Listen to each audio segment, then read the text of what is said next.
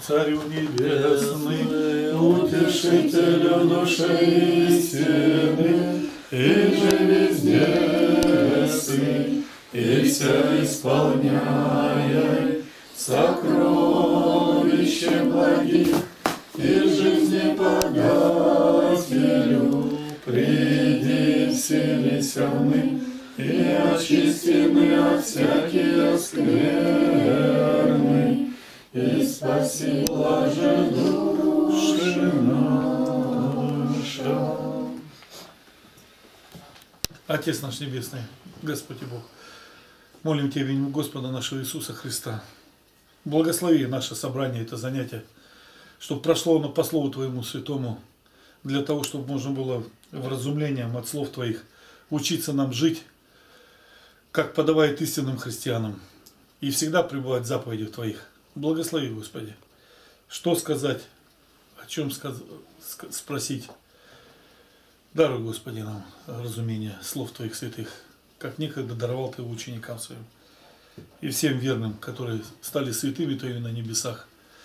Тебе слава за все, Отец, Сын и Святой Дух. Аминь. Аминь.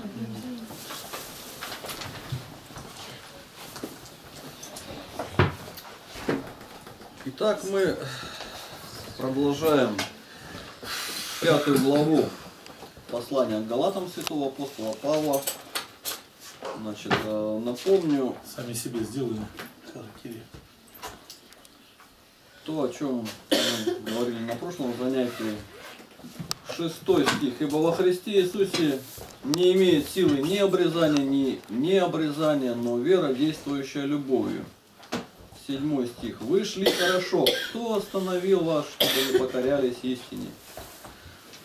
Восьмой. Такое убеждение не от призывающего вас. Малая закваска заквашивает все тесто. Вот на этом девятом стихе мы остановились.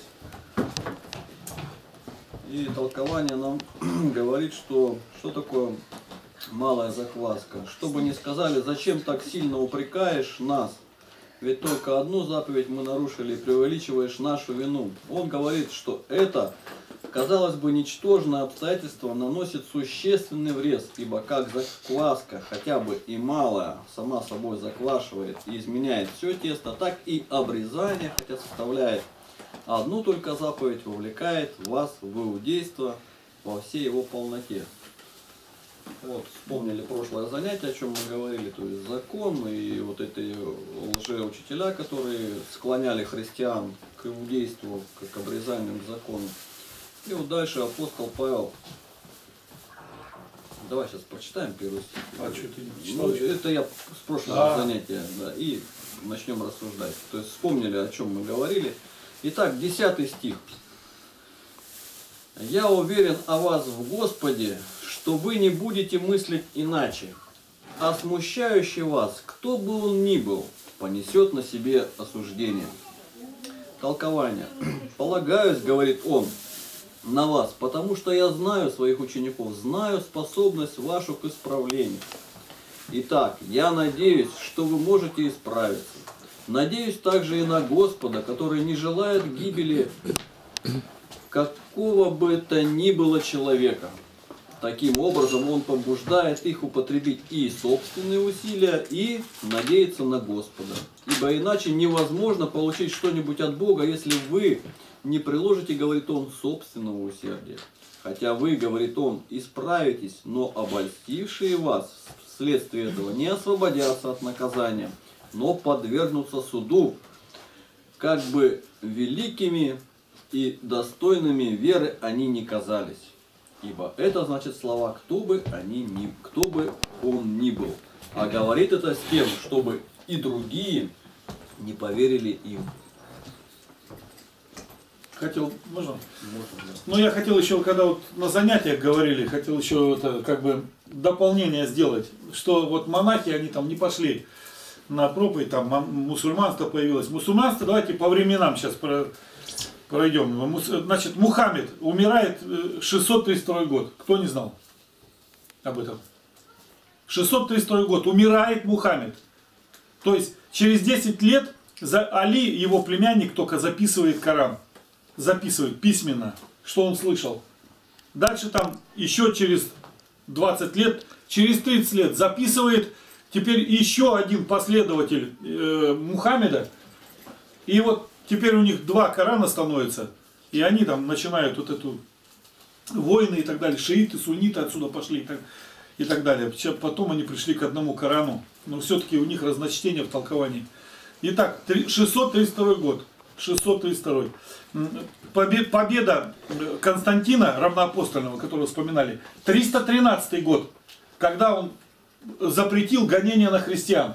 То есть с 313 года по 632 получается чуть ли не ровно пополам 300 с лишним лет было у христиан, чтобы дойти в те места, где проживал как раз Мухаммед. Это Саудовская Аравия, будем говорить, юг Саудовской Аравии, около Красного моря, вдоль Красного моря, где Персидский залив. В, этом, в это самое время жития святых нам говорят, говорит о Григории Амарицком. Значит, сейчас разбираем. Григорий – это имя, ну понятно, имя христианское. Святой Григорий Амарицкий. А Амарицкий почему? От названия страны. Омарит страна называлась. Приблизительно на территории сегодняшнего Йемена она находится. Кто географию знает, это чистый рассадник Саудовская вот Аравия, там где это все вот сейчас главные мусульмане у них находятся. Вот там было, было государство, называется Амарит. И там на территории этого государства жил святой Григорий. Назвали его Амаритским по какой причине? Он делал много чудес и прославлял Господа Иисуса Христа в правой вере. Он там прославлял его. И когда ему удалось одного из главных военачальников, правую руку, руку императора тогдашнего, там, который был царем, ну там это, его как-то звали, Парфир, как-то так, я сейчас не помню, как его, к сожалению, и ему удалось его обратить ко Христу. И случилось так, что там царь погиб, и этого военачальника выбирают царем, а он христианин, и Григорий Амарицкий, как его духовный отец, оказывается, у власти практически. Его выбирают, ну, патриархом тогдашним этого, этой страны. И он приходит, э, а там, а там была очень большое, большая диаспора евреев. А евреи, сами знаете, они всегда убивали христиан православных. Это был 520 год. 520. То есть Мухаммед родился в 560 в 554 году, а это описывается 520 год. И вот эта территория, она прям граничит с Меккой и Мединой. Прям вот на границе, там несколько сот километров до них. Вот это государство Амаритское. И что приходит э, святой Григорий к этому царю, тогда уже это новому, и говорит, вот чтобы евреи, они же враги христиан, чтобы, говорит, они ну, нам тут глаза не мозолили, давай сделаем следующим образом. У них два пути, или их убить, или изгнать. И третий, самый лучший, чтобы они обратились ко Христу. Он ему говорит, слушай, ну, убивать как-то сразу это, давай хоть с ними поговорим. Это император говорит святому Григорию. Тот говорит, ну это неплохо было бы, давай поговорим. И вот вызывает самого у них главного маститого, там, старейшину этого иудея, Элизар как-то, или... Ну, и он ему объявляют так и так, или вас становитесь христианами, или изгоняем, или убьем. Они, он говорит, так давайте хоть тогда вы поговорим сначала, ну, кто будет от вас выступать, кто от нас. Григорий Амелицкий, естественно, его выбирают, а этого Элязара, как у них старейшина еврейский, его... И они начинают беседовать, а беседуют-то по Библии. И вот все чувствуют, что но не хватает немножечко, чтобы победу-то одержать вот, Григорию Мирицкому. Он ему вопросы, вопросы ставит, а, и тот знает Библию, и этот тоже хорошо знает Библию. Только этот во Христе, а Григорий Амирицкий, это святой говорит, а тот не, говорит по Ветхому Завету, тоже от Бога Всевышнего. Ну и тогда уже, когда победы никакой нету, а нужно, ну, так, чтобы это звучно было, и тогда Григорий Амирицкий начинает, он этот Илиазар говорит, вот если говорит, я увидел Христа вот прямо сейчас, тогда я, говорит, точно тебе говорю, я бы уверовал. Не знаю, как там мои, говорит, соплеменники, но я бы вот уверовал. И Григорий Америйский встает на колени, начинает молиться, Господи, вот ради того, чтобы увидели, прославил Лосимя Твое Святое, ну покажись. И вдруг раздвигаются небеса, на облаке вот так Господь опускается, но не доходя до земли. И стоит сам Иисус Христос, ничего не говорит, просто благословляет или что там такое, ну, беззвучное. И в этот момент там этот Илиазар, ну все, говорит, теперь понятно мне, теперь я верую. Но там какая-то еще часть евреев обратилась, а остальных изгнали из этой страны. 520 год. Через 30 лет родился Мухаммед, чуть побольше, который начал слушать уже э, не православных, а еретиков. И вот эта лжезакваска, которая вдруг оказалась на месте, казалось бы, светлого пятна, то есть государство-то должно быть православным, о чем он писал, нам э, как раз читал заметку-то этого, что вот православное государство сильное, главное, вот оно что может победить все это. Вот оно никак не победило, православное сильное государство.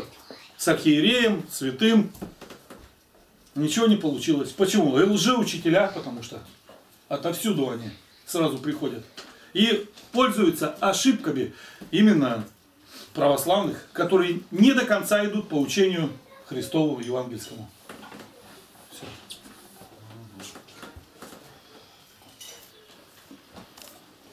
Да. Ну и вот апостолу... Григория Америцкого вспомнили. Тоже приходится оправдываться перед своими учениками за то, что вот уже учителя проповедует обрезание. Вот он в 11 стихе говорит, как бы оправдываясь, «За что же гонят меня братья, если я и теперь проповедую обрезание? Тогда соблазн креста прекратился бы». Толкование. Так как клеветники говорили, что он лицемер и проповедует в одном месте обрезание, а в другом нет, то говорит, «Вы свидетели того, что меня преследуют иудеи, если я проповедую обрезание, за что же другие меня преследуют? Очевидно, преследуют меня за нарушение отеческих их постановлений. А если я проповедую обрезание, охраняю отеческие постановления, зачем после этого меня преследуют? Что же говорят из этого? Не обрезал ли ты Тимофея? Да, но это с особой целью. Да притом одно дело обрезывать и другое проповедовать обрезание. Ведь он не сказал, если совершил обрезание, но если проповедую, ибо тот, который проповедует, учит, что это всегда должно быть, как, и без, как безусловно прекрасное. А тот, который делает что-нибудь по особым целям, исполняет это не потому, что оно безусловно хорошо, но потому, что полезно в данном случае. Если бы я проповедовал обрезание, то не было бы соблазна, который производит в иудеях крест. И не, поч... и, и не почему-нибудь иному они соблазняются проповедью о кресте и не принимают ее, как только потому, что ею уничтожается обрезание и закон, то есть проповедью о Христе. Равно, как если бы я проповедовал обрезание, прекратилась бы и исчезла бы вражда иудеев ко кресту и соблазн, который возбуждает он в них крест. Вот такое вот толкование. То есть он оправдывается вот против вот этих клеветников, начинает вот отстаивать свою правую веру, скажем. Вопрос хочу задать. Да. Вот, как, как, вот в одном из э, своих посланий апостол Павел тоже говорит, говорит, неужели между вами не найдется разумный, который бы мог э, разрешить эти э, вопросы? И мне вот э, хотелось задать вопрос, а неужели вот не нашелся ни один разумный, который мог бы остановить вот, как говорится, безумие пророков, вот этих лжепророков, как ослиц некогда? Какие качества, какие качества какой, какой характер должен быть у человека, о котором говорит апостол? Чтобы увидеть этих лжеапостолов, чтобы с братьями объясниться и так далее. Что нужно? Как? Письменном виде, устно, руки, руки поднимать, один на один выступать. Ну как вот, как Григорий Америцкий делал с Илиазаром с этим. Ну а апостол сказал, ну какие-то выводы как-то можно же было делать. Он же сказал, ну не просто так сказал, а чтобы как раз разумели. Ну, он должен быть э, авторитетом. Тогда его будут слушать. Понимаешь?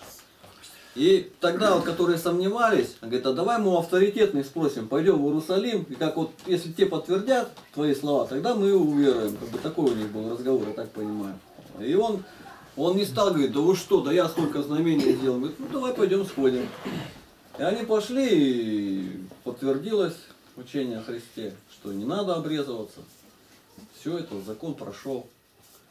То есть тут должен быть этот человек авторитетный, его должны уважать. И чтобы человека уважали, он сам должен быть непорочен. А здесь они, а Тимо- Тимофей это обрезал, начинают под- подыскиваться под него. Ну и он тоже начинает перед ним. Ну, было, да, было. Но для чего я это делал? Давай. Я тогда еще продолжаю а- об этом. Так он должен быть священником, диаконом, чтецом или мирянином, богословом, как там. Кем он, как, какой характер, как понять авторитет? Вот ты говоришь авторитет. А нет авторитета. Вот я тебе пример скажу, библейский, чтобы ты не говорил ничего. Это 13 глава э, Даниила, пророка. Когда Сусанну осудили, и они ведут ее побивать камнями. Помните, старцы, которые хотели с ней переспать? И говорит, или переспишь с нами, или мы расскажем, что ты с юношей была, с ним переспала уже. А они судьи были. И она сказала, нет, не буду делать греха, лучше в ваши руки попасть. И все, а в ваши руки оказалось, что помимо рук. Почему? И тут юноша написано, юноша э, Дани, Дани, нет, не Даниила, в- как его? Даниил разве? Нет, не Даниил. Валтас, Даниил. как его, Валтасар же его называют? Даниил. Даниил прям там? А, Даниил, да? Юноша написано Даниил, встал и сказал, не, чист я от крови. И все удивились, повернулись, что ты такое сказал. То есть все впервые услышали это обращение. Как, а ты кто такой? Он юноша вообще был. Закричал громким голосом. Закричал даже. Нас не любят. Да, да, это не любит, да. Закричал громким голосом даже, да.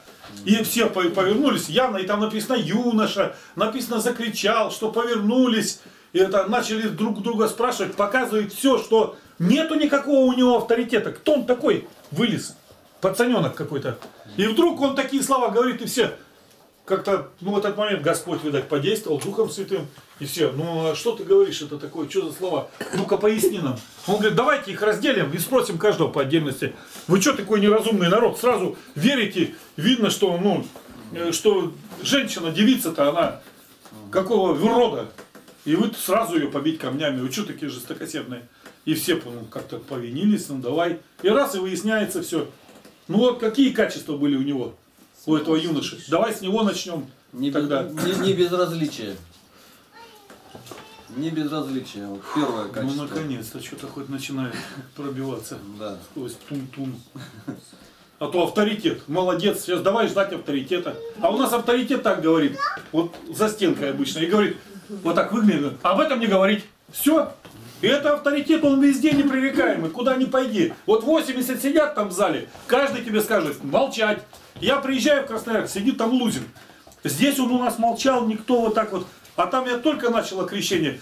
Крещение, а там такой вопрос задает женщина. У меня дочка ходит к пятидесятникам, и вот у них там полным погружением крестят. Но она не знает, что не троекратным. А у нас, говорит, почему краплением? Отличный вопрос. Он тут же, я говорю, так а вот тут у нас показать хотел материалы наши. Сразу раз, молчать. Если только, если только что-то прочтешь отсюда, из этого э, материала Лапкина, все, я запрещу эти занятия. А только еще начались, пять минут они не идут. Уже все. Уже авторитет запретил все. Авторитет, он как раз, вот они все авторитеты, их вообще не видно здесь. Они все уже там идут, стоят уже, выставили, давай, режь нам быстрее. Они хотят еще авторитетнее быть перед всеми. Сестры же сидят все. Это авторитет, он умный точно. Ну что, обрежется, сейчас вообще у него будет не голова, а дом советов. Что не скажет, то все в точку попадет. Ну а качество такое еще, непонимание ситуации было. Люди просто не понимали. Вот не было такого юноши Даниила. Даниил, во-первых, он все правильно понимал, он знал закон Божий. Второе, он был сам в этом непорочен, то есть об этом говорили, что ты сам говорил, что он должен быть непорочен в том грехе, который он обличает. Ну и в-третьих, это ревность, без это, бесстрашие, скажем, или назовем это так, смелость. Потому что он вызвал ого- огонь на себя.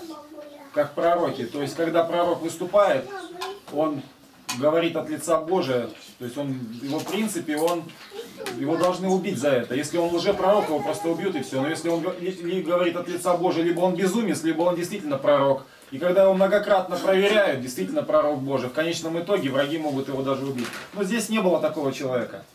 Не было знания. Они просто, ну, если бы он был, мы бы знали, что вот такой-то человек выступил и сказал, я против, и апостол бы Павел сказал бы, так, вот у вас такой-то там брат, кварт какой-нибудь там, или брат говорит, а вы почему его не слушаете? То есть характер послания был бы другой, если бы был такой человек. А вот вы, допустим, там 100 или там 200 вас человек не слушаете, а вот он слушает. А апостол Павел бы обязательно сослался бы на такого человека. Но его не было. Как, как не было? Подожди. Ну, дальше-то. Вопрос можно? Давай. Вопрос хочу задать. А почему тогда он вначале называет святые? Говорит, святые братья. Почему? Да, почему? Он также обращается к Коринфянам перед тем, как их обличить в страшном грехе. Он обращается святые, но при этом обращается к ним. То есть человека, святой, не святой, это тут уже другое положение дел. Тут речь идет о том, что почему не выступил никто против вот этого явления, которое вошло в церковь, в Галатийскую. Но не было, значит, такого человека, который бы все понимал. Может быть и был кто, но молчал, боялся. То есть тут несколько может быть позиций. Но все равно об этом апостолу Павлу не было известно. Как дальше мы читаем наоборот, вот тут как дела плоти известно, он начинает перечислять. Я вначале не понимал, либо это он вообще говорит о том, как наставление, как можно делать, как нельзя начал толкование читать, я понял из него, что они сами были такие, о чем он говорит. Вот дела плоти это те свойства, которые были свойственны самим галатянам. А это было следствие именно их лжепонимания. А лжепонимание опять же не просто так пришло. Я думаю, все началось именно с духовного отступления от Христа. Внешне они еще были галатянами, они еще ходили, да, а Павел. А постепенно, постепенно вот это все Первую любовь они потеряли, потеряли любовь действующую, э, веру действующую любовью, и по инерции еще шли, а потом пришел человек и начал говорить, а это вот, вы хотите изменений, вы хотите перемен, мы, многие хотят перемен. Что-то ничего не меняется, ну ходим каждый день в храм, там, борода, пояс, ну какие-то перемены ведь нужны, ну все и так понятно уже. Надо какие-то перемены. У них были перемены. И пришли люди, которые им дали перемены. Вы хотите быть более совершенными? Конечно, хотим. Так вам еще немножко не достает. Вы обрезываетесь по закону Моисея. Все. Как же мы раньше-то этого не знали? А почему нам Павел не сказал? Да кто такой Павел? Да он даже не апостол. И вот начинается вся эта система. Кто у них выступил-то против этого явления? Да в них уже был грех. Они сами внутри себя отступили. А когда они отступили, тогда пришли просто ребята и сказали, вот так понимаете, они говорят, да, мы не знали. То есть без нечестия, без их неблагочестивой жизни, без их внутреннего бы, э, духовного бы слабости не было бы даже никакой бы вот этой разговора бы не было. Разве мало им апостол Павел говорил? Да он говорит, перед вами был Христос изображен. Разве мало мы слышали проповедей, когда мы уверовали во Христа? Там кто 10-20 лет. А сколько лет люди уходят? Да почему? Да потому что поначалу загорелся, а потом, а потом погас, а потом вообще в голову вошла какая-то мысль, все это перечеркнул и ушел. Ну, гала, галаты, не то, что там не было именно человека, они духовно ослабели и даже не заметили, как грех вошел в их разум. И апостол Павел борется с двумя змеями. Первое, это невежество, которое он, вот эти все 5-4 главы, и пятую главу еще он пытается разрушить. А второе это грехопадение, в которое они впали. А это вот сейчас мы начнем изучать. Это уже вторая половина пятой и шестой главы. Вот во что они попали. Но вот я такое понятие истолкования имею. Поэтому ссылаться на какого-то там авторитета, на кого ссылаться, они все уже, нету авторитета, не за что взяться. Гнилая картошка в мешке. Я закончил. Игнатий я по-свежему. Сегодня тоже скинули мне. Произошел грех, который не простится ни в всем веке, ни в будущем. Ярославского архиепископа, митрополита, обокрали 13 миллионов и 7 панагий бриллиантовых. И утащили, у него домик рядом, э, где он там живет, отдельно дом-то. Сломали замок и сейф утащили вместе с сейфом.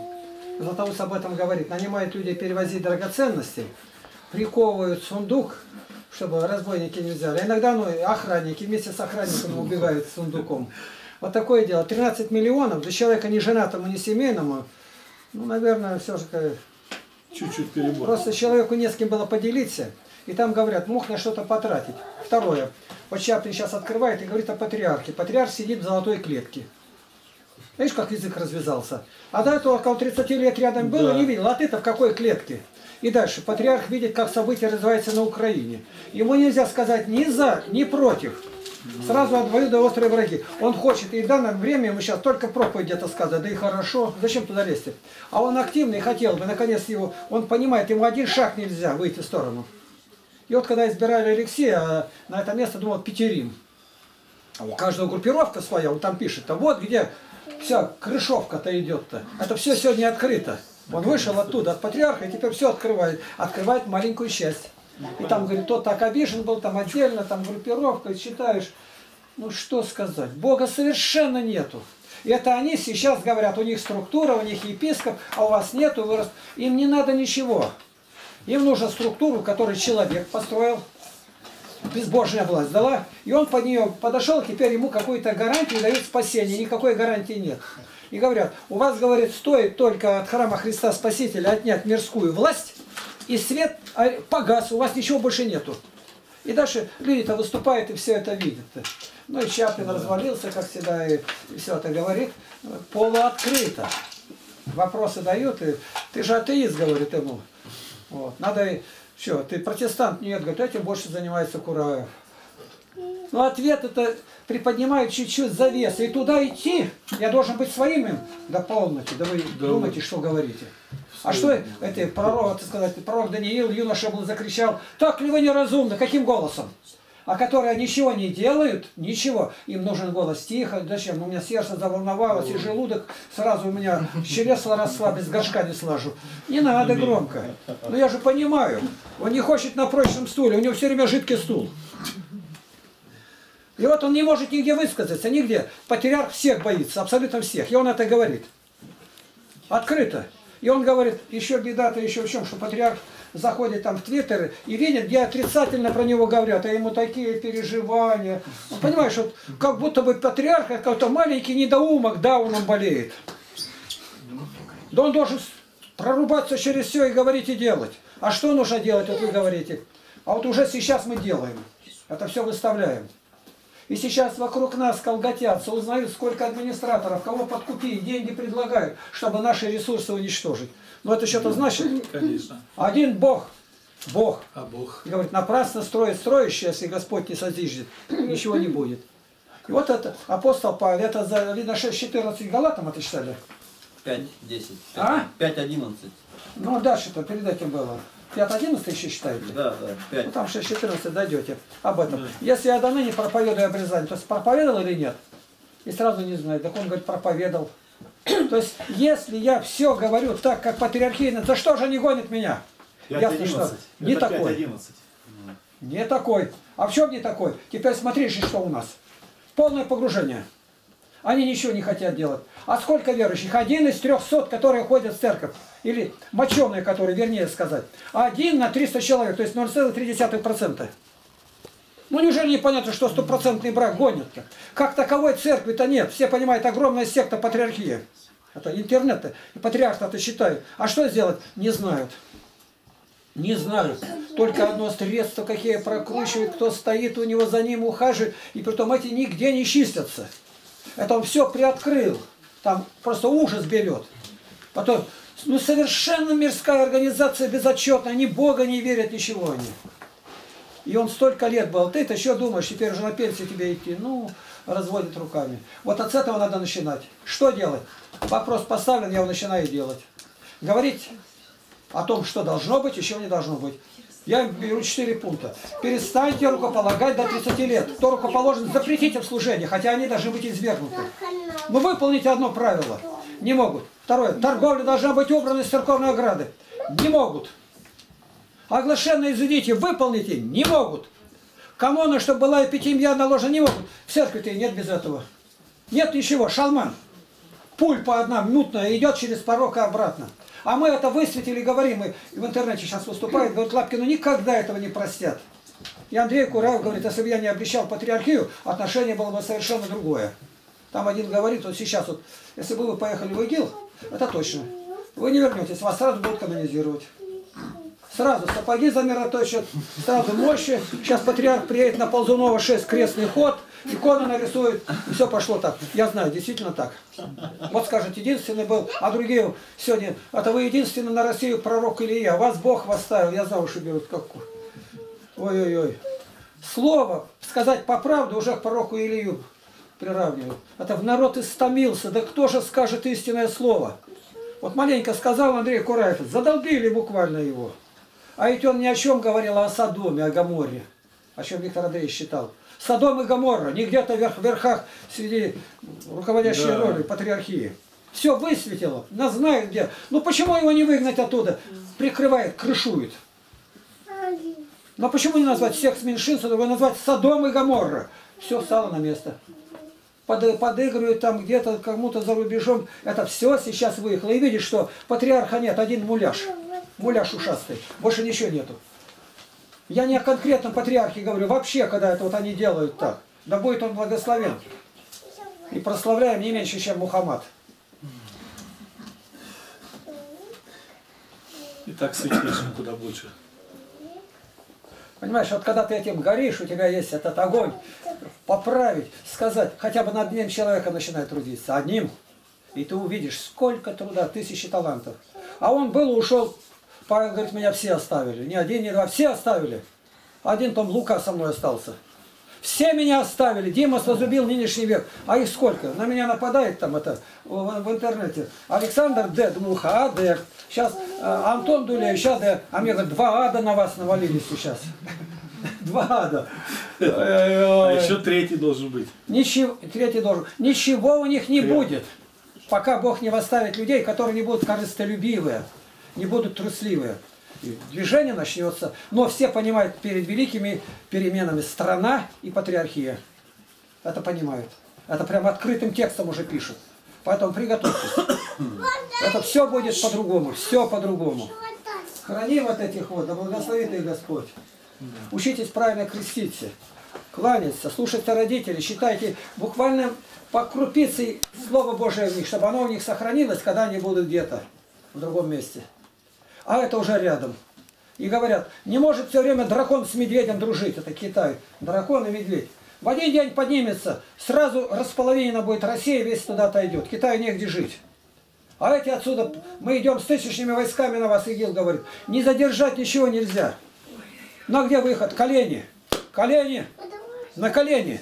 И молитесь. Этого-то нет понимания. Им только нужно, даже священники, верующие, что-то не так, и они сразу жалуются. Могут они пожаловаться, соврут, но пожалуются. Они не могут без властей нигде.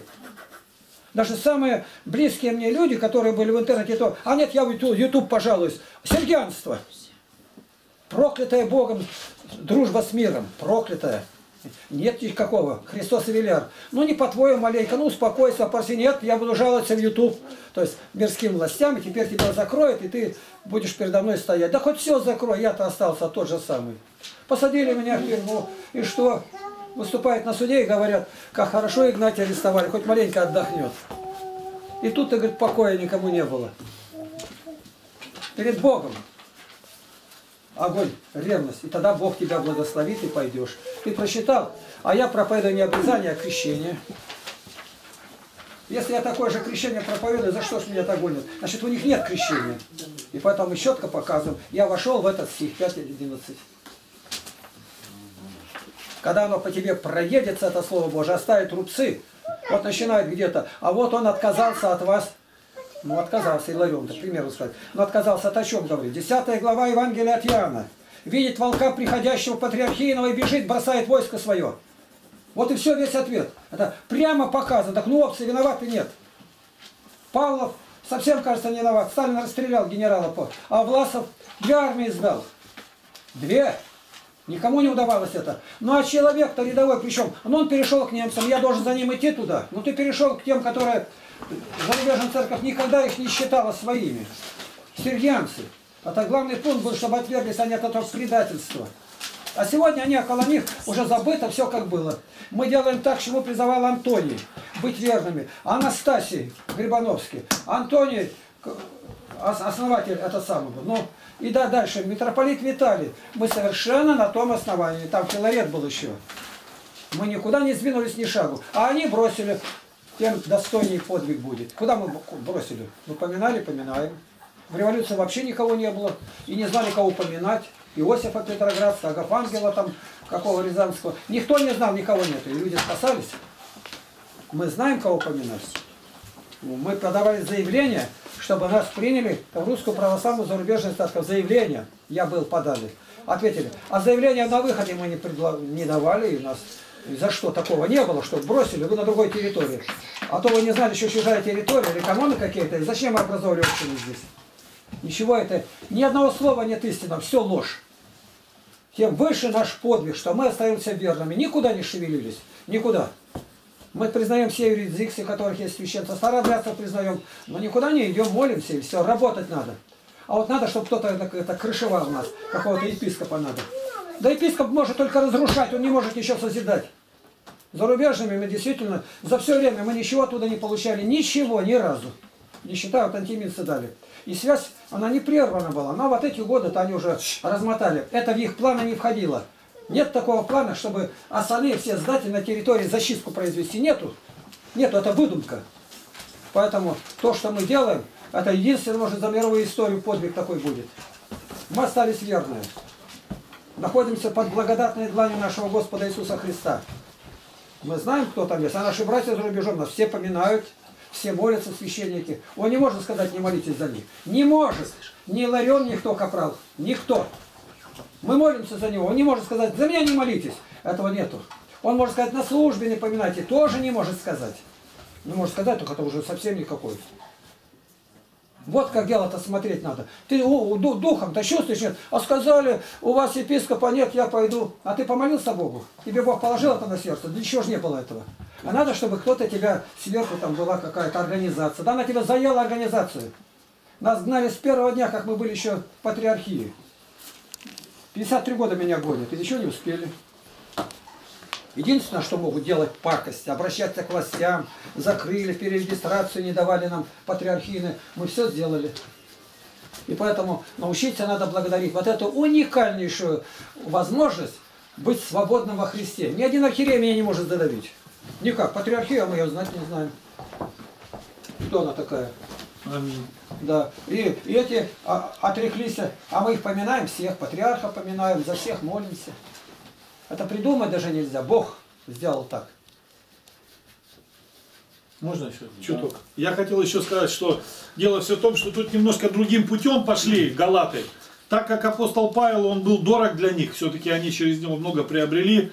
Я думаю, что это получилось, как и в других вот там посланиях, он пишет, что обратились к нему, те, говорит, которые там были в церкви, это, обратились, говорит, ко мне там в послании, говорит, и так далее. То есть я думаю, что тут и галаты не один начал писать, и сестры побеспокоились, послания, видать, написали, и братское было послание, и апостол Павел, так как он жив был, слава Богу, он и оказался этим самым авторитетом, да еще и с нужными словами. И обратился, поэтому он обращается, скорее всего, говорит, святые, то есть он понимает, что раз столько обращений было, все заботятся, переживают о своей общине, в которой апостол Павел, видать, немного, недолго был. В других местах он дольше был, а здесь, видать, не так долго. Но закрепление было чем? Евангельской проповедью. Да. Он же им Христа проповедует. Аминь. Ну, он же живой еще, пускай дальше проповедует. Вот, Игнат Тихонович, чем мы его будем в сторону задвигать? Зачем это нужно? Скажи, кому? Он нас родил. Чем мы против? Ну, о чем и речь идет. Пускай он, он и есть авторитет тот самый, и среди нас, и, и где-то еще. Пускай он и ответит, а мы будем за него, поднимем, говорится, голосовые руки. Какой авторитет? Я везде примеры говорю, откуда это взято, как апостол учат, как Господь сказал. Ссылаюсь на 10 главу Евангелия от Иоанна. Это Христов авторитет. Аминь. Это наемник. Он видит грядущего волка из патриархии, бросил и бежать. Он не защищает ничего, нет. Это прямая притча о нашем положении. Я Да. благодарю Бога, что мы попали и в эту статью. Это Бог так сделал. Бросил, говорит, видит волка приходящего и бежит, а их волками лютыми по-другому не назовешь. Были отдельно, молились, никому не мешали, ничего не нарушили, меня оплатили деньги, вызвали, выступал, и вдруг, а вы нам не нужны. Как Да. Да. Ну скажите, в мировой практике за 2000 лет было ли такое, чтобы взять и без вины человека отлучить, и, а загонять туда, но я туда не хочу идти. Это, ну, волчий загон, я не могу с волками быть вместе-то. Куда ты меня гонишь? И там живешь спи спокойно, Да. иди сюда. И мозги-то они вправят. Тут любого задавят. Любого. То есть они безбожники. Лютые-лютые безбожники. Мы находимся в самом истинном положении. Это Бог дает, от Бога. Мы молимся, это от Бога, что нам Бог дал. А которые там где-то, этот волчатник, там мен, подрастают щенки, они бу- будут на своем месте. От них взвоют все. Да. И поэтому научиться славить, перейти на вторую ступеньку. Говорят, не говорят, это никакого значения не имеет. Аминь. Давай за все. Итак, 12 стих. О, если бы удалены были возмущающие вас толкования, подвергшихся обольщению, он назвал вначале неразумными и порицал не более, чем детей.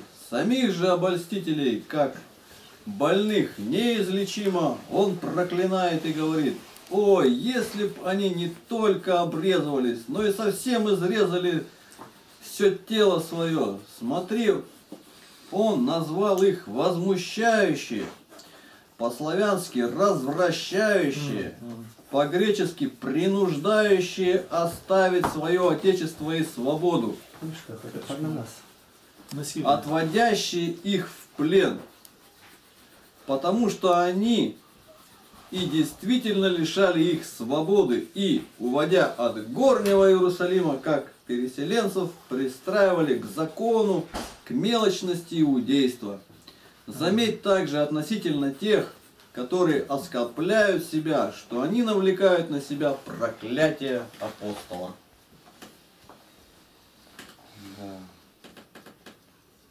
Все, людей сознание перевернутое вот такое. Христос зовет к вышнему, а эти к нижним, с властями, с властями надо. И эта первая власть пойдет и за собой потащит все, что с ней было. Хотел тут немножко, вот это, сказали о скопцах, и я тут это, вспомнил и Малакан. Как раз там у них это было очень развито. Э, Малакан это одна из э, сект э, в России. Перед революцией особенно сильная была. И к- к ней э, пытались причислить э, Распутина. Вот Распутин это самая такая необы- необыкновенная такая какая-то личность, которую как оболгали, и все знают, что это там насильник, там, ну, все самое кошмарное, что можно сказать про Распутина, как, как про Малюту Скуратова, так говорят, только в духовном еще плане. А когда, когда нач- начали его рассматривать, сейчас фильм вышел, не знаю, кто посмотрел, нет? Там несколько серий. И, и э, февральская революция, и сразу начинают рассматривать Распутина. Только еще убили его в декабре 16 года. И там говорят, он был у Малакана. Пошли, начали смотреть. А оказывается, он туда к Малаканам ходил, чтобы им там проповедовать. Посмотреть на них и внутри этой секты он там им что-то, что-то рассказывал. Потом коня украл. Оказывается, коня украл не просто так, там спасал ребенка. Там и так далее. Когда все, говорит, ну он там гулял где-то. А где гулял? На пирах. На, там пиры, там горой. Он туда заходит и беседует с теми, кто там сидит эти. И они не пьют, ничего там нету этого. А потом показывают, по- под него прям наряжается в, рубахе, в такие русские, он в русском народном ходил. И под него гремю, загримируются и быстро убегают. Ну, короче, поймали некоторых. Все. И все это вот так вот покрыто мраком, а потом, а что же там у императора было? Начинают рассказывать. Раз спасает этого э, Алексея, а у него кровь идет, только он один. А как, говорит, это все было? Расскажите, что там, какие оргии он устраивал? Он, говорит, молился просто. Как молился? Кто видел? Где? Начинает там вырубывать, расспрашивать. Еще там фрейлин. Просто иконы стоят, и человек стоит на коленях, молится, говорит, со слезами и так далее. Все, все уже. Потом начали дальше про, э, про как там к войне относился. Он к войне вообще запрещал царю, ходил к им- к императрице. Единственный человек, кто до конца боролся, чтобы не было войны. И у нас вот, вот такая вот она у нас и Россия, тоже непонятная, вот это православие наше. И вот так же точно оболгали уже всю нашу общину вместе, ну, понятно с кем, кто у нас. И, и не, не могут вот сейчас из-за своей лжи найти эту правду. Выйти. Ну, ну хоть что-то там доброго должно же быть где-то. Нет, мы ничего не находим. А теперь оказывается, что это, что это масоны специально все прикрывали, лишь бы только ни одной э, даже какой-то йоты истины не, не всплыло. Почему? Ну тогда это будет обращение людей к правде. Люди тогда ну, начнут правильно молиться, правильно думать о своем будущем, о вере во Христа. И ничего этого нету до сих пор. Одна ложь. У вас до скольки? До полчаса? Да нет, до часу. 45 минут еще прошло. Половина еще. Ну что, оболганная личность, самая оболганная действительно в 20 столетии. Царь делал расследование, ничего не нашли. И что интересно, в комиссии по расследованию был блок Александр Александрович Павел. И сделали отчет, когда полный нигде не подтвердилось ни слова. А то у царицы была карта специальная, и она немецким передавала, где войска, там, чтобы нападали и прочее. Она только говорила, какой неблагодарный народ. И стала мученицей. Но это должно быть. И надо это принять как есть. Да? Ну а кто расстреливал-то все эти белобороды, все Русские. ушли туда. Ни одного нету, никого нету. Все уже на суде Божьем. Все. И мы должны так и понимать. И это все пройдет. Это очень хорошее. Это уже было под солнцем. Как поищут люди момент, когда вот можно было пострадать за Христа, сказать правду, не убояться. Ничего нет. А сегодня тихо, то есть как глянул, все. И вот Чаплин об этом написывает, пишет. Вот только стоит где-то одно слово не так, и все. Сами за собой вымарывает. Патриарху что-то сказали, гляжу, говорит, сказал, и свои слова вымарывает. Ну, это уже открывает какую-то часть хотя бы. И то видно, пожалеть надо человека. Он раб. Раб золотой клетки. Действительно так. Как он мог по Теряевку приехать? Его не отпустили. А приехал бы, ну, приняли бы. Приняли. Ну так вперед, ну маленько посмотреть. А что бы я в этом положении сделал? Да мне терять-то нечего. Я в первый день, когда обратился, я понял, меня могут взять за это, за это, за это. Я сразу все это выбросил. Все свободно. Чем мне начнут угрожать у меня? Нет этого. Нет этого. Как здесь в налоговую пришел, они православные. Там другой, так, а почем свечи у нас нету? Как нету? Это же православные. Ну, сами покупают, делают так. Ну, а крестики торгуют, не торгуем. Она опять то есть, а у них уже стандарт. Православные это деньги крутятся. Нет ничего. Нету. Соплинская миллиарды, миллиарды рублей. Соплинская. Нету ничего. Покрутились, побегали. Мне надо отпускать уже. Я явился туда и нет ничего. Да, как, да какие же православные сектанты. Сектанты. То есть, если быть по православному, только с деньгами дело не иметь, уже сектант. Все. А если еще ты не горбатишься за каждым словом батюшка благослови, то другое это. Но десятину пусть они установят. Они весь народ сделали ворами и проклятием. Проклятием проклят весь народ за одну десятину. Да это в Ветхом Завете. А вам по-новому охота завету? Считайте. Положили все достояние к ногам. Не десятину, а сто. Вот как надо. Если праведность не превысит книжников и фарисеев праведность, они платили десятину, снятость. То есть, куда ни погляди, везде беда. И вот тут я нужен, я понял, я тут востребован. А что они там говорят, делают где-то, ну никакого значения не имеет. Новые и новые души приходят. Вот сейчас эти тему назначили они, какие-то Колесников, Николай Санный зашли, говорят, вы каждый день делаете, вот отчет пишут, что люди. У меня уже 15 роликов, две недели назад, первый раз. И сразу вышла мама Никитина, Елена, нашлась мама, поблагодарила за все, что с моим сыном вот тут, тут трудитесь. Я говорю, а Никита, она знала, что летом ты был в лагере и как? Да, знала. И не изменилось отношение. Нет, мама у него сидит на диване, наши книги положи, положила, и для слова Божия тут считает сидит. Никита, я правильно говорю? Да, правильно. Вот так. Во славу Божию надо работать. Сеем, сеем с надеждою. А надежда не постыжает. А они против. Так это награду увеличит, как понять-то не можете. Все желающие жить благочестиво будут гонимы обратно. Если я гонимый, я попадаю в рамку благочестивых. Только бы не поставил, как вор, злодей, посягающий на чужой. Я не посягаю, они посягают на мою душу. Загоняют. Люди, чтобы в церкви быть 10 лет за один аборт стояли у двери, а здесь зайти, любыми путями затолкать патриархию. Ну это прям, это делает только человек, который знает, что он меня ограбит. Чистая, крепкая, там конкурс идет, конкурс. Если бы ГИМО, другой институт и где-то конкурс. Здесь нет, любыми путями нас туда загнать. Я сказал, никогда не будет, и вам благословения никому нет. Трудитесь, посылайте людей и работайте, чтобы патриархия жила. Вот с какой целью. А быть там нельзя. Власть над собой давать, они сразу разрушат. А они не умеют по-другому. Вот у них это скорпионья хватка. На черепахе едет, и все равно ужалить надо, а я по-другому не могу. Тут, тут все на глазах. Мы не говорим о документах, что батюшка говорил, там, батюшка приедет, покажет где-то. Нам Бог это дал, Бог. Самый намек. Власти над нами теперь нет нигде. И притом мы к этому не добивались, не уходили, не выпрыгивали на ходу нигде, а они сами. Это Бог положил им на сердце.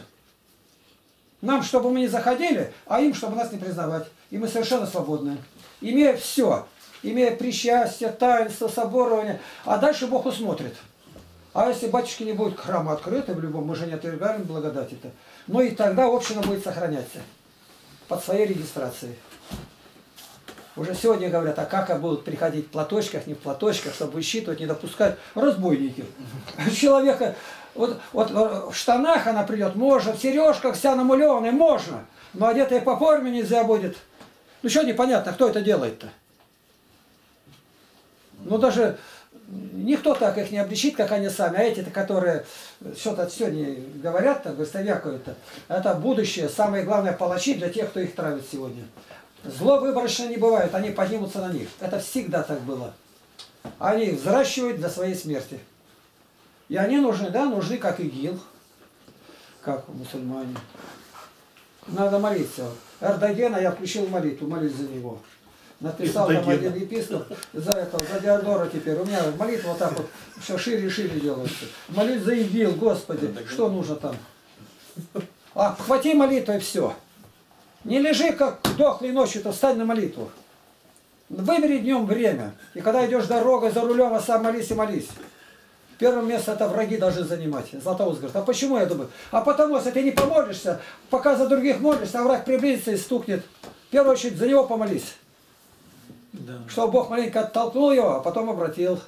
А обращаются, да, обращаются. Приходит с кинжалом убить, жития святых. И обратился, задрожали руки, кинжал выронил и рассказал, кто его послал. А вот этот так явился там Григорию Америцкому. Это иудеи требуют чудес. Нам это не надо. Это... А сатана может показать, все может показать. Вера от слышания, но не от видения. И это показано, что было такое, мы не отрицаем. Но нам не надо ничего этого. Зато вот говорит, я чудес не требую, я верую.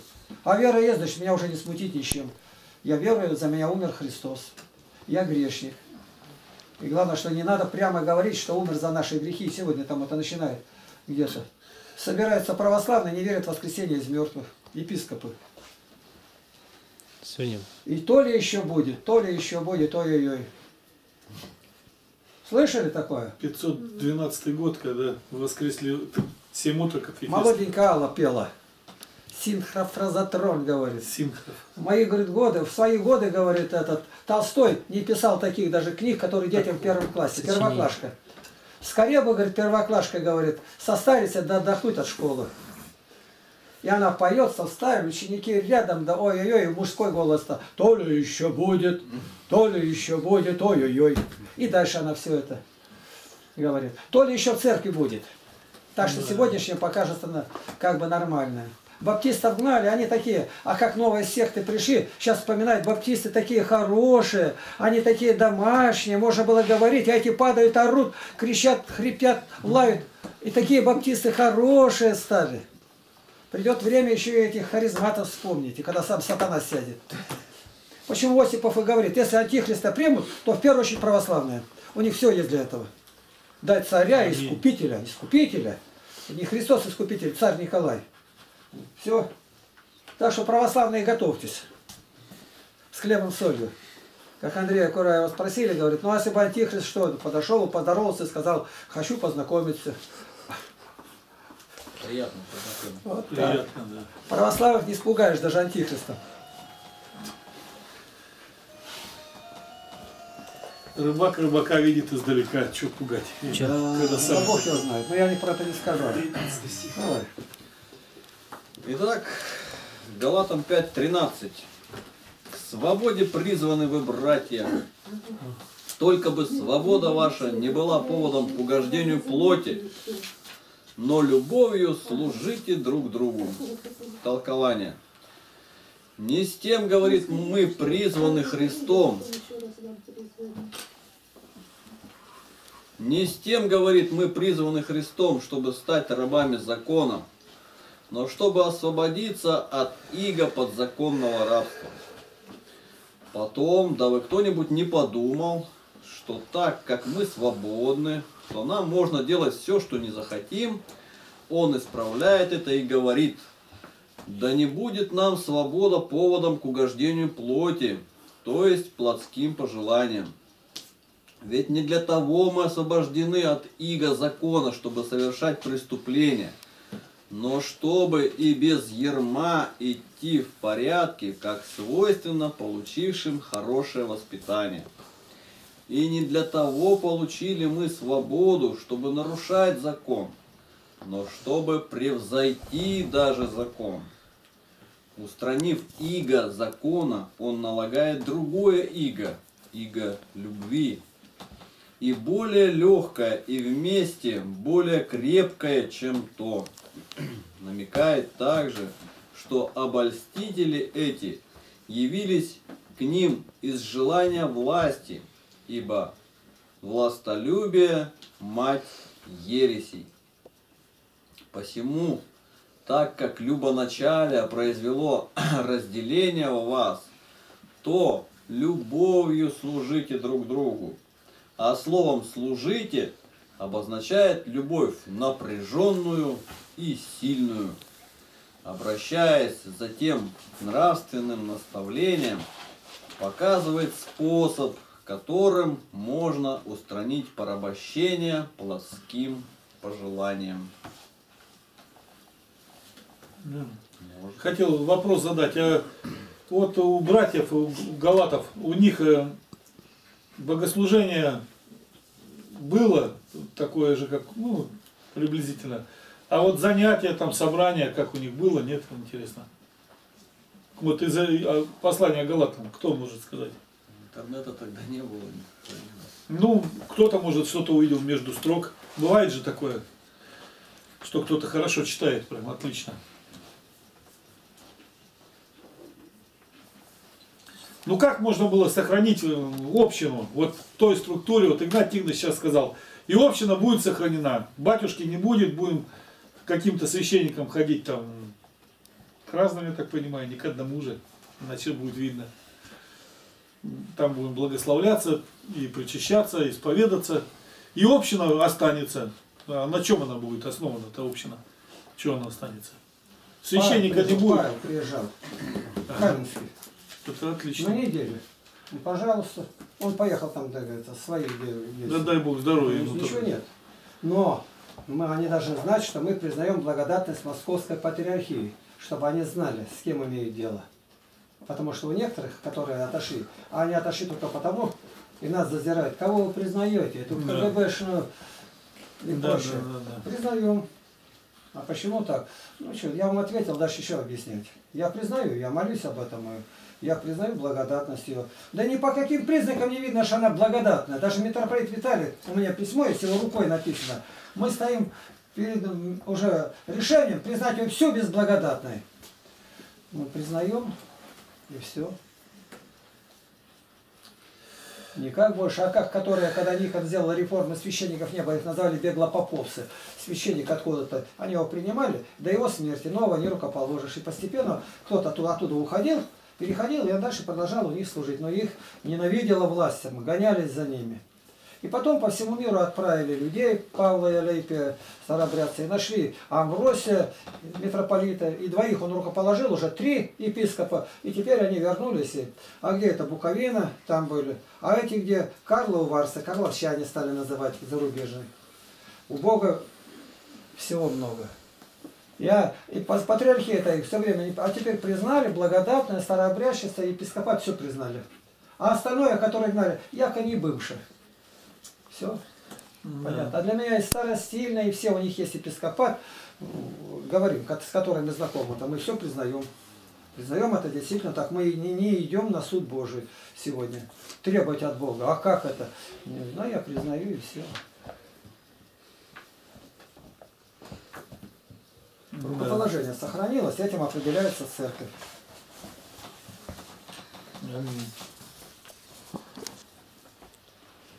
Но собрание, я думаю, у них было, Давай, я могу сказать.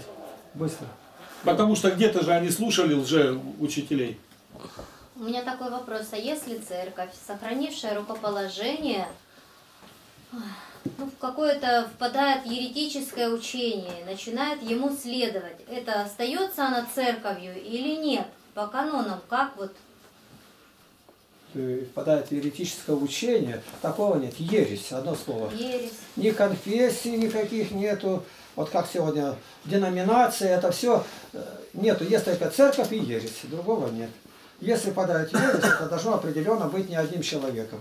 Ты заметил, что не такой? Ну вот сейчас мне пишут, вот архиерей такой-то, и Игнатий его звать, э, там где-то, ну, я не знаю, Карела Финская, что ли. И вот теперь что делать, мне пишут, что делать? Развалил все, говорит, развалено. Ну, обращайтесь к патриарху Кириллу и другим, и по порядку нужно идти. А он ереси. Ну, ты за себя имеешь, видишь, что еретик, отойди, если ты знаешь. Должно быть при- принято решение. Не так, что я его объявляю еретиком такого-то. Вот это, это ни- никогда так не делалось. Это должно быть соборное решение какое-то. А священника извергнуть? Священника извергнуть должно быть шесть архиереев. Сам снять. Шесть.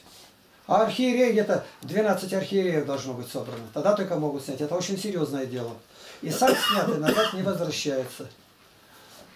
А если, конечно, доказано, должно быть доказано, он имеет право апеллировать, говорить, но обязан явиться на суд. А если не явился, обвинение затвер- затвердили. Вот. А Если там ересь, то надо узнать, ересь или недопонимание какое-то. У нас все ересь. Палец не туда прижал, ересь. Но это не ересь, это обряд. Другой там еще что-то сделал. Что там проходной двор, и все разрешено. Ну, у нас был человек, вот и сидел все время за пьянку, домой пьяного приносили, бились, бились, он в коридоре стоял. А сейчас ушел, все, там ничего нету. И ему это нравится как. Вот тут требовали, то другое, сейчас ничего нету. Я там зашел, сразу рот разинул, причащаюсь. А на завтра опять пьяный, как этот, ну, впал в блуд. Ну, бывает такое, бывает. Ну, сколько положено женщина, 7 лет у нас стояла. Был случай такой, был. 7 лет она отстояла. Отстояла, теперь, ну, по порядку как. А у них ничего этого нету. Батюшка назначил эпитемию в течение недели 40 поклонов за смертный грех. Понимаешь? Эпитемия самое ужасное, то, что лишается причастия. А лишать, сказать, наказать за то, что ты нечасто причащаешься, это сумасшедший ум только может говорить. Наоборот, все, все вывернуто вот так. Почему? Это не дух Божий, потому что там действует. Дух зла, дух разделения, ненависти, вот это мстительности, преследования. Ну, ни по одному признаку я не вижу, что там дух Божий есть. И нигде. Ну, а как тогда? Не знаю, я сказал отошел. Теперь я только могу молиться за них. Ну, а спросят, я докажу легко. Дух Божий разве это делает? Чтобы Библию полностью, как будто ее нету. Нет. Вот сейчас пишут, документально показывают, когда космонавты Волков, Добровольский, Пацаев-то летали, первые погибли, которые, до этого Комаров точно так же погиб. Ну и разные-разные вопросы, почему они именно вот так вот, и, и показывают, когда вытащили оттуда, то спускаемый аппарат, а там где-то то в Крыму, главная эта ставка у них была, и ждут звонка. Почему нет? Ну, они тремя сигналами, там, цифры какие должны быть. Если подряд три пятерки, значит, а так, а если плохо совсем, то цифры в обратном порядке будут. И наконец они ответили тремя цифрами. Да что, совсем, совсем. И они еще теплые были, теплые. И начинает показывать сердце, ртом дует, прямое дыхание, мертвые. Я стараюсь проникнуть, что с ними было, о чем они говорили. Ну все, спускаемся землю, видать. Это не все. Клапан оказался не, не закрытый. А они врут, не клапан. Это опять начали лгать. В корпусе дырка появилась величиной с копеечную копе... это, монету. Кто-то снаружи ткнул пальцем ангел и, прожал. и теперь в воздухе весь вышел, их высушил, ничего нету. Вот что с ними было. А теперь говорят, говорят, а почему пальцем не заткнули? А другой там Леона выступает. Да это под, под первой оболочкой, там, там Ну под да. клапаном, то другой. Ну врут, а клапана всего два. Ну еще ради клапан туда-сюда слетал, уже опускается. Еще бы он открылся-то. Это ангел, видимо, сидели и что-то было такое, все коммунисты. Ангел ткнул дырочкой, и вас нету. Я вот так это понимаю. Господь стучится, и мы этого не видим. Надмение какое, стопроцентная гарантия, гарантия, э, ракета взлетит, прилетает маршал Неделин. Как раз я был в ракетных войсках, только образовали их. И ракета, и вблизи не должны, должны быть все там под, подземные бункера и все. Он совсем рядом. И в это время включается мотор сам. А ракета-то стоит на месте, ее еще не открепили, она, моторы, э, трубы, турбины заработали-то. Ну и рванула. Я не знаю сколько там, может быть 250 или сколько ядовитого, быстро воспламеняющегося. Ну и все, его нигде не могут найти, все сгорело. Нашли только от погона маленько что-то где-то, и кажется звездочку или что-то. Ничего Звезду вообще нет. героя оплавленную. Маршал Неделин. Звезду героя оплавленную. А? Звезду героя Советского Союза. Да, да. Там же она золотая. Вообще нету. Сколько людей погибло. Почему? Надмение. И Бог остановил. И как один рвался, как хотел, как опоздал, остался живой. И как они бились, две команды было, две группы, которые должны были полететь, гражданские, которые полетели, и военные в космическом центре. И наконец Королев дал добро, там Хрущев там участвовали, и полетели гражданские, все погибли. У американцев по 7 два раза. Все что-то невидимое где-то. Поэтому Бог допускает. Вот вам, когда трудно, тяжело, вспомните, кто-то тонет, где-то цунами, где-то землетрясение. Ну, кто-то умирает, разрезали там рак у него. Ну, у тебя ничего этого нет. Ну, благодари Бога-то. Ну, не трясись ты за свою жизнешку-то. Они говорят, это значит, на- на- если они не будут говорить, тогда беда. А раз они клевещут, без епископа не спастись, значит, от Бога это. Бог сильнее, выше делает подвиг. Мы никуда не отошли, ничего не раскалывали, нигде. Ничего нет, мы просто сидим, тихо, спокойно и работаем. А они там вокруг там наворачивают где-то. А зато они ответят, вот за это я, что со мной. Я стал рассматривать все на молитве и увидел, это на миллионы, на миллиард, может, людей Бог дает такой вот шанс человеку быть свободным в совести, никому не подыгрывать, никому не угождать, но только уже живите достойно этого. Такую свободу вам дал. Нет, все потеряем. Они не могут вот так разговаривать, суждать патриарха, судить. Они не могут. Нельзя сразу священник, что ты святейшего судишь, там то другое. А он сам не знает, кто бы с ним поговорил. Это все приоткрыто сегодня. Я сегодня вечером, если Господь позволит, ролики начну делать на выступление Чаплина. Хотя в свое время у меня ролик ролик был, где он против Андрея Кураева Чаплин, а я объясняю, там сколько отзывов было. Я сегодня уже проработал материал, выделил красным где, но только сесть сейчас и начнем делать ролик. 14 стих. Ибо весь закон в одном слове заключается. Люби ближнего твоего, как самого себя. Толкование. Если вполне, говорит он, вы желаете исполнять закон, так исполняйте не обрезанием, но любовью, потому что в этом заключается полнота закона. Смотри, излагая нравственные наставления, он не забывает и догматического учения. Так сильно он скорбел об их заблуждении. Я сейчас вот понял, что очень сложно было галатам-то идти. Апостол Павел далеко, толкования ни Феофилакта, ни Златоуста еще не было. То есть сами рассуждали, сами по себе. Ну, апостол Павел, конечно, был тот самый авторитет, о котором брат пытался вот сказать как раз. И надо было, чтобы он до конца рассказал, как же все-таки быть. Тем более, что такие были моменты, как обрезание Тимофея. И на этом, конечно, лже апостолы тоже они на пульсе церкви этой галатийской руку, как говорится, держали. Многое знали об этом.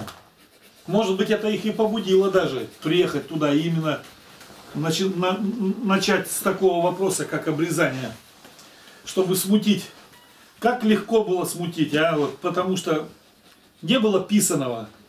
А нас сейчас сложно будет, должно быть смутить. У нас есть Феофилакт и Златоуст. Поэтому сразу предлагаю, когда будете где-то с кем-то беседовать, вы сразу умом не поползайтесь в сторону вам более понравившуюся, а придите и Златоуста почитайте, или вот спросите людей, которые читали его, чтобы подсказали, где, где узнать об этом вопросе. Я вот я говорю, вернусь этому докладу Чаплина. Ни в одном месте он не видит рационального зерна, не видит совершенно. И он не видит практически, как это исправлять. Многие монахи, монахини уходят в мир, ну, по-монашески это беда. Ну, вывод ты сделай, чтобы этого не было, он не знает. А вывод-то очень простой. Прекратить это монашество. И нарушение, то есть оно монашество пусть будет без обетов, и нарушения никакого не будет. Просто и понятно. Пусть служат, трудятся. Они сначала свяжут клятвами такими, уподобляются Иуде, Каину. Если из монашества пришел жениться-то и прочее. Страшно, выйти оттуда нельзя. Как у мусульман, обязательно голову отрежут. То тут в духовном плане. Ну вы, и везде надо искать выход. А тот патриарх в золотой клетке, ну ты рядом был. Сохрани с ним хорошие отношения. А теперь ему скажи, не бойся сложить себя полномочия. Патриарх говорит, доживает последние дни. Пишут о том, то ли уйти, думаю, то ли не, не поймешь даже. Ну, пока он на месте, тогда да, не бойся, не, не, не бойся, брось клич. Россия должна родиться свыше. Больше ничего не надо. Его увидите, что Бог сделает. Ну, чтобы это сказать, ты должен сам быть таким. Пережить это. Ну, понимаешь, вот какие он видит недостатки, вопросы, и все они решаемы. Нерешаемых нету. Они называют проблемы, я, фу, такое слово нехорошее.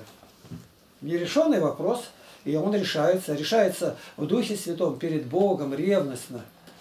Я вас скорбел, заплакал, враг смирился. У него много врагов. Ну ничего, молиться надо, кому-то что-то дать, может быть, обиженному заплатить в четверо. Ну, выход всегда есть.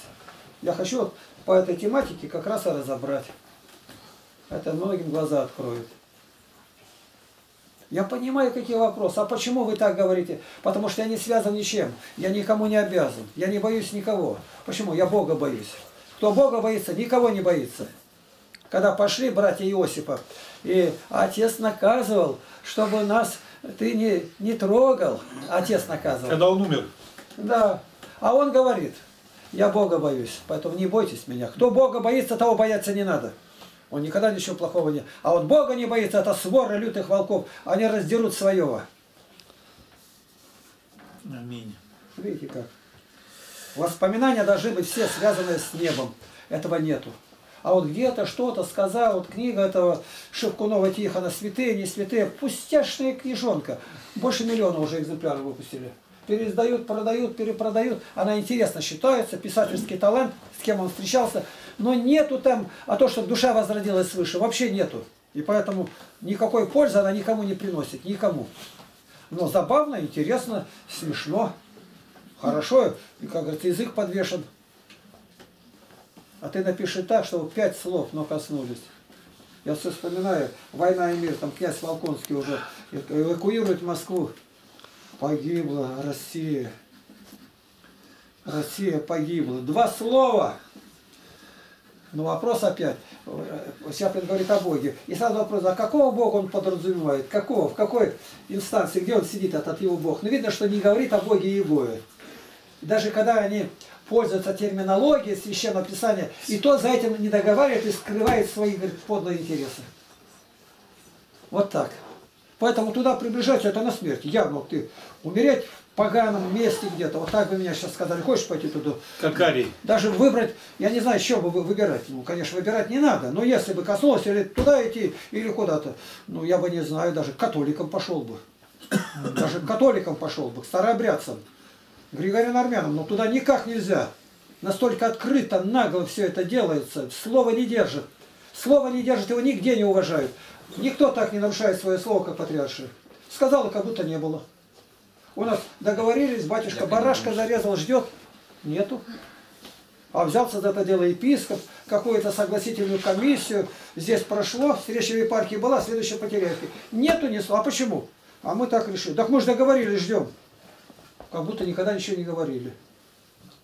гарант подлости полный. Я не боюсь это сказать, потому что я имею доказательства. И об этом говорят все, которые там побывали. И несмотря на это, самое главное, что я признаю благодатность, мне простить не буду. Ну какая там благодатность? Это там, ну собрались люди, которые с человеческого, говорит, ничего нету.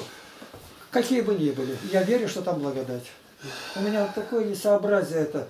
Ну, ну не, не, нет соображения у меня. Я подойду, благословию патриарха и буду о нем заботиться. Я знаю, это церковь, и нужно бороться за чистоту. Вот мое кредо. Кредо хорошее. Кстати, можно о кредо? Вот. Это сегодня поступила информация, сам не знал, из комнаты, где братья. Сегодня я пошел послушал. Символ веры не поют братья. Не поют символ веры. Посмотрел вот Игорь Третьяков. Поет, смотрю, стоит. Губами А, шепчет. где это? Вот В братской братья не поют. Вот не поют они. Сестры что-то там еще курлыкают. Ну, по- ладно, это понятно. То Помаленьку. есть не, не хористы, а простые. Простые, да. Не поют символ веры Ну, почему-то. сказать надо, не знаю. Надо... Это, это петь разрешено было а патриарха Моисея Да, Первого. да. Это от него идет.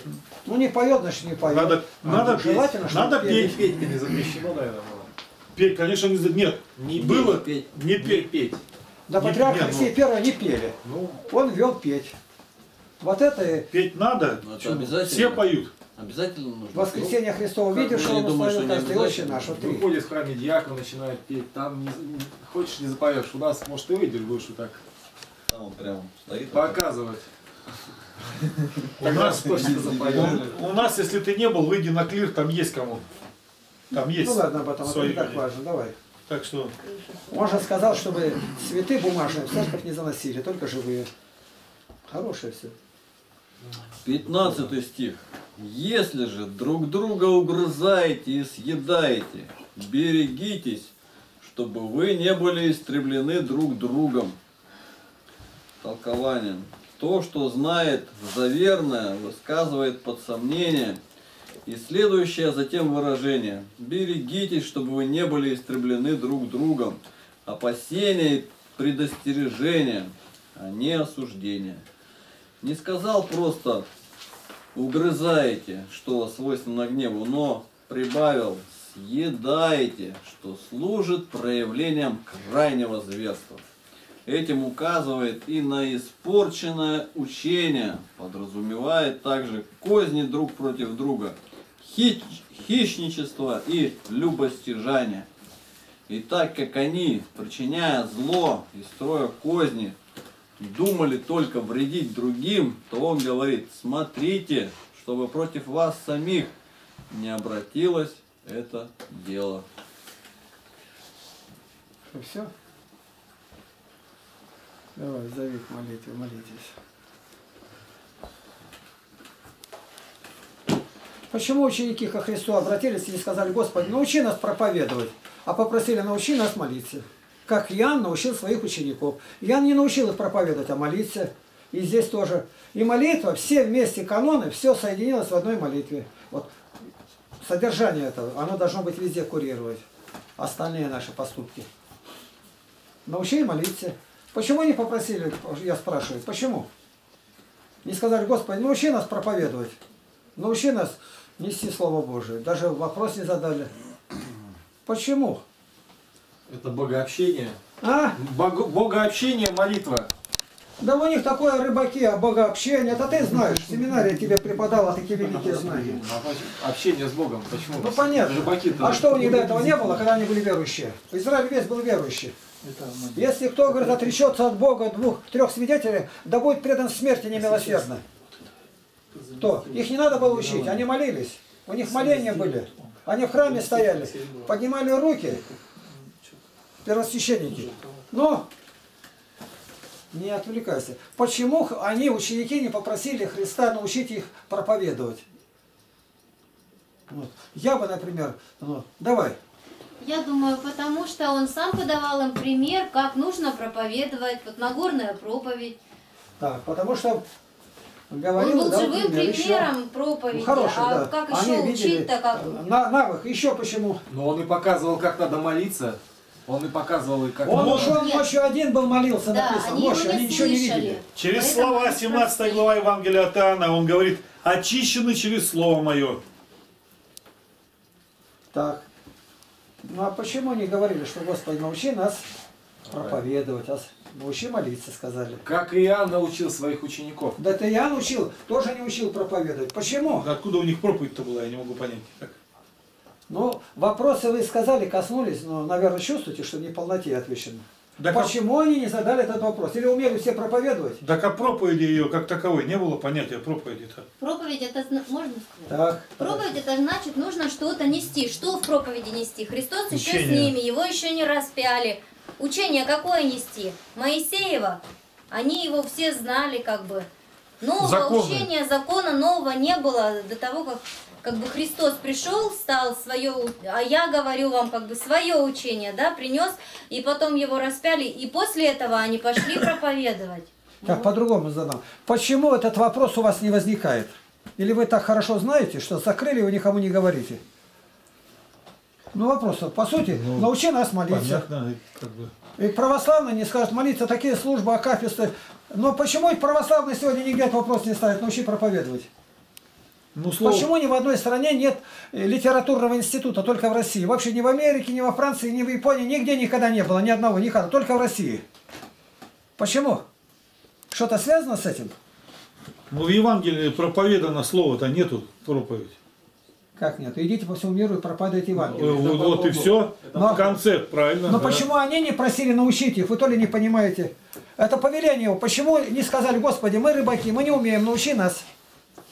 Ну вот мы читаем э, в Деянии 13 главе, Дух Святой выбирает Павла, Варнава, да, и посылает на проповедь. Но- Именно сам Господь выбирает, Дух Святой выбирает. То есть они этому не научались, ничего, и просто Господь выбрал и послал. Это Понятно? А теперь Христос сказал, когда Дух Святой придет и научит, а Духа Святого не было, этому нельзя научиться. Он будет говорить мертвые слова. Он научится правильно, начало, введение, основная часть, заключительная. Ну, к чему вас учат? Там ораторскому искусству можно научить, а проповеди нельзя научить. Она мертвая будет. Химн звучащий. Но Дух Святой придет и научит. И Господь говорит, идите, уже, уже все закончилось, а идите и проповедуйте. Они проповедовали? Нет, они до дня 50 с мертвяками сидели. Зависли никуда ни один, вообще ничего нету. Один Петр только сказал, вот видите, а считали, что, ну что, заговорили, ты пьяный что ли, да откуда у них взяло? Да эти рыбаки неграмотные, невежды, они нас учат. А между прочим, узнавали, что они были с Иисусом. Вот главная черта, они были с Иисусом, вот где школа идет. Но прорвать это нельзя было. Воды еще не издавали шум вот многих. В Откровении говорится, я слышал, как шум вот многих. Это проповедь всемирного. Вот теперь они увидят, когда Дух Святой наполнит. И слова эти будут зажигать все вокруг. Это в третьей книге Ездр показано. Четко скажите, что Дух Святой еще не сошел. И этому научить нельзя. Ну, я спрошу конкретно, Диккенса кто учил? Льва Толстого кто учил? Достоевского какой литературный институт кончал? Никто. А современные все, они закончили литературный институт. Его направляет куда? Руководящая, направляющая роль партии. Этому нельзя научить, он есть или нет. Читая другого, ты можешь увидеть так. Один говорит, я писал книги, но я понял, что у меня не хватает одного, чтобы понять, что книги мои самые хорошие чтобы это передалось другим. А чтобы это сказать, ты должен написать самое хорошее. Вот я стою перед вами. Еще раз покажу. Вот эта книга да, дольше, дороже всех мне досталась. Вот. Ты ее не прочитаешь никогда. Вот эту книгу никому не прочитать. Вот чтобы от корки до корки вот так вот прочитать, не пропуская ничего, никому из вас ее не прочитать. Никому. Ни одному. Вот открыл последнюю страницу, и вы мне не найдете ни одного человека, который прочитал бы ее во всем Советском Союзе. И дальше я добавлю, на земном шаре ни одного не найдете. Вот как написал. А ты сказал, я по одному листику буду считать. Не получится. А почему? Это симфония. Здесь сплошь и рядом Вот она, считай. Вот ты начала первую страницу, посчитай. Будет интересно тебе, нет? Слушай. Д. День. Сирахова, 49 глава, 4 стих. Вот. Во дне, наверное, утвердил благочестие. 4, 49, 14. Они во дни свои построили дом. Где точка, вот это где- какое слово? Сирахов. День. Вот это, а день? День. Вот его везде надо день, День, вставлять. да. Давай. Сирахов, 50 глава, 1 стих. «Во дни свои укрепил храм». Третий стих. «Во дни его уменьшено водохранилище». Притом все из Библии, не прочитать. Шестой. Одну страницу еще оселишь, у тебя дальше и будешь лежать два дня рядом спать. И жизнь на этом кончится. Кто помогал мне ее редактировать? Корректоры у меня были здесь. 18 корректоров работали. Ведь бросили, и самому пришлось закончить. Все остальное считаемое. Это просто лежит для близира, ее уже нет. Я не буду. Поняли? Не. Вот почему. Надо еще знать, с чем наполнить.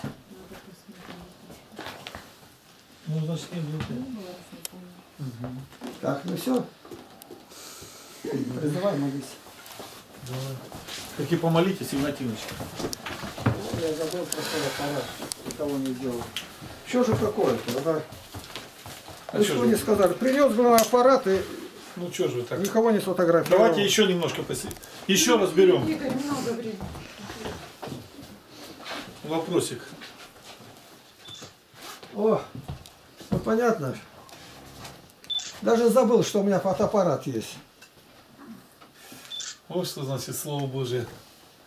Живое и действенное. Достойно есть всякого истину, блажите Тя Богородицу, пресноблаженную и пренепорочную, и Матерь Бога нашего, честнейшую Херувим, и славнейшую без сравнения Серафим, без истления Бога Слова родшую, сущую Богородицу Тя величаем.